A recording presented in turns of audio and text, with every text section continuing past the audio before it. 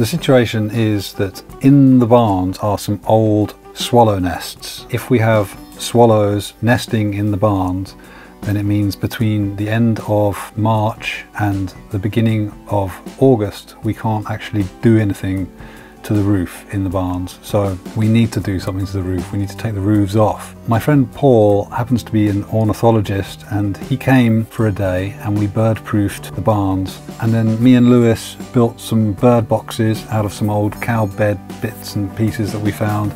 So yeah, stick around to the end to see the bird boxes. They're really cool.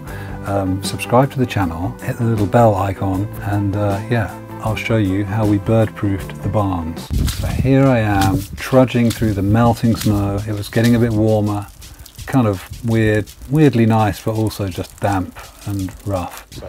There's Paul and Lewis assessing the situation. So we started at the end of what's going to be the kitchen block with those two windows upstairs, just basically putting chicken wire in because apparently swallows need to fly straight into something. They don't land and then crawl in. They, they need to fly straight through an opening. So it's not too difficult actually, because I mean, I don't think we're going to be able to stop things crawling in. There's like holes all over the place, but these are the, the big main holes.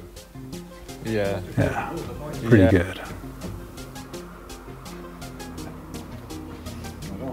Then we moved through into the uh. Kind of middle barn upstairs, the hayloft as we've been calling it.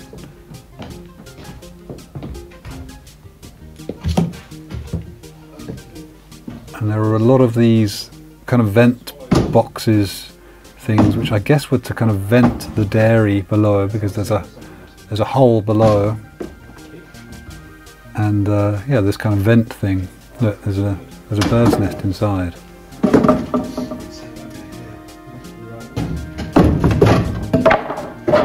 like I said, we did build some bird boxes and I'm going to build even more bird boxes next time I go. And I'm going to get some of those little fake swallow nest things to put somewhere, hopefully that they will like. So we dismantled all these old vent things and uh, yeah, assessed the situation again.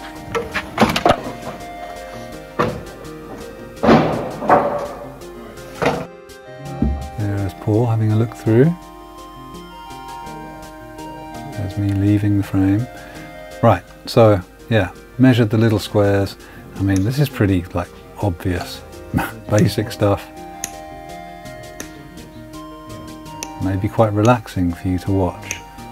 People bird proofing a barn. Just taking it easy, getting our hats covered in old straw and dust and rat fur and all the other things that are in there. That's just incredible. Yeah. I do hope those swallows don't get too sad when they find they can't get in. Hopefully they'll enjoy their their new little fake swallow nests that I'm going to put in for them outside. More stapling, putting all the net in, oh the chicken wire. Some nice cinematic footage courtesy of Aiden here on the iPhone, pretty good. The new iPhone, I should add. A big improvement. There's my boot. There's my hair. Yeah. There is a bird-proof hole. Okay, that's another dramatic shot up to the roof, through the hatch. That is some kind of rat fluff toy artifact. There's Lewis desperately trying to book a uh, ticket home out of the out of the freezing cold wilderness.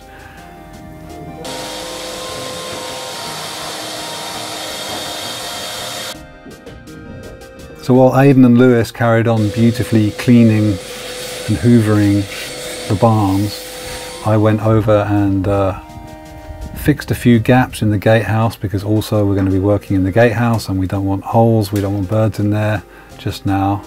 well, kind of ever really, but we do want lots of birds around, so that's why we're building bird boxes. I hope that's clear that I don't hate birds, I just won't be able to do anything to the buildings if there's birds inside. So, In the kitchen block there were a few uh, missing window panes. So I drew some kind of weird indecipherable hieroglyphics on a little scrap of card and uh, found an old bit of masonite which I cut into the right shape and put in the window pane. This is me measuring, some more measuring, my head really looks like a kind of trussed up Christmas ham or something. Hmm. Not very ladylike.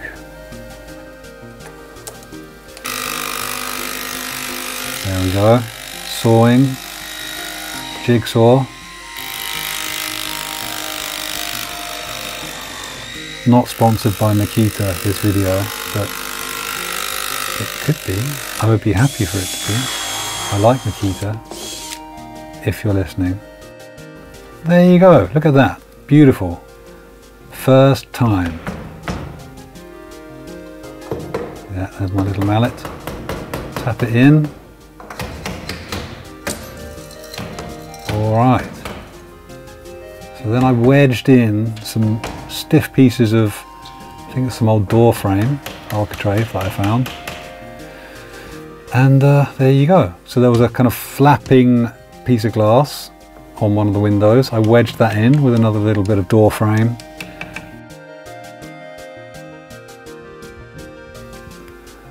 And then the windows above didn't have any latches on, so I just put a bit of wire around and secured it to that piece of wood, which will hopefully stop that window flapping about and letting birds in. I was quite pleased with this method which I developed uh, and kept refining as you'll see on the next window there. See I used a little bit of the uh, twins playpen remains and I didn't even need any screws or anything just wedged it in wire around and then just nicely tie it up there look at that all right, you can see what a beautiful day it was. It was really magic. Starting to warm up.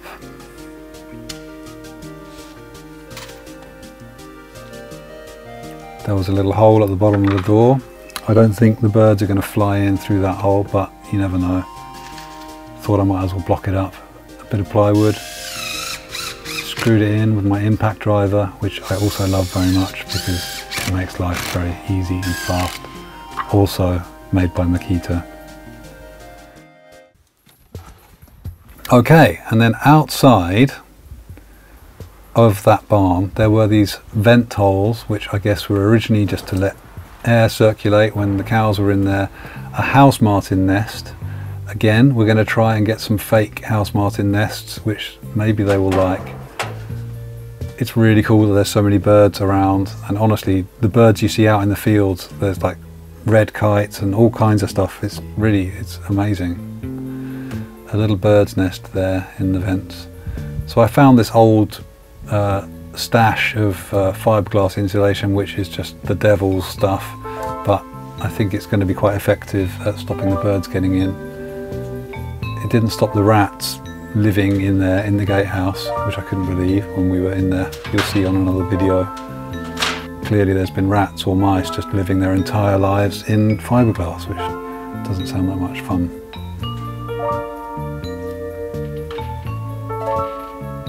Yeah, working my way around the building, blocking up those little holes.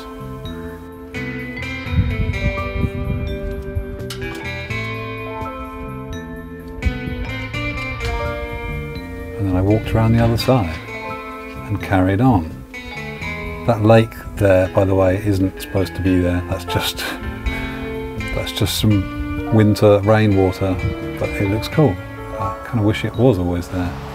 That's not our field either, by the way.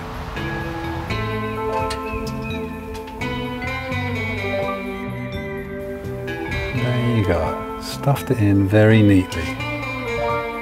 Right, so then the bird boxes. we had all of this stuff, which was bits of cow bed and bits of vent from the hayloft. And um, yeah, so we built one each and it was, uh, I felt quite honoured when Lewis told me this was kind of the first thing he ever built, which I think is amazing because it looked really good at the end. And um, yeah, it was, it was really cool to, to be able to help him with that.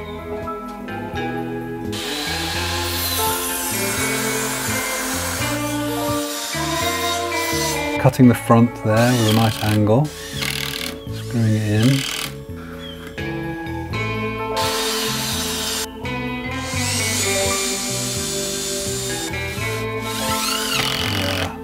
The back.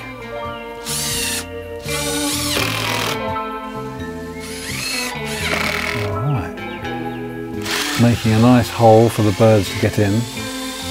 Kind of wasn't sure whether there's a, a good size for the bird hole because I guess you don't want big birds being able to get in there and steal eggs and stuff, right? So anyway, I found out what was a good, good size hole and that's what we went for. Sanded it down with my uh, cordless Makita palm sander, rotary, what are they called? Random orbital sander, yeah. Very good. Jesus, it looks like a Makita catalogue, that bench.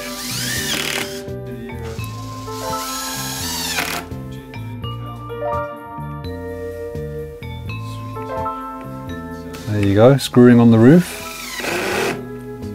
There's a little hole in the back there to hang it on, you see? And there we go, little perches on the front to help the birds climb in. I think they're really fine. Very proud of those.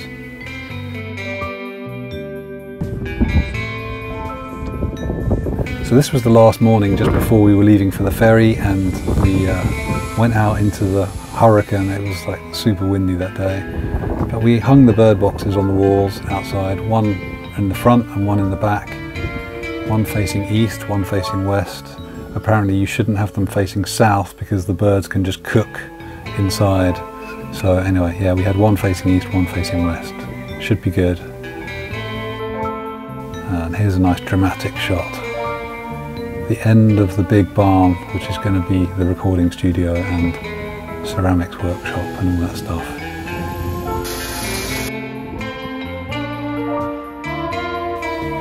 Nice bird box. Right on the end.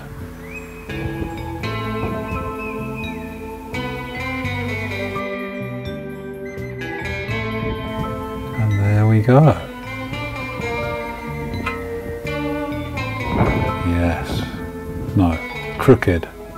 I went back up and fixed it.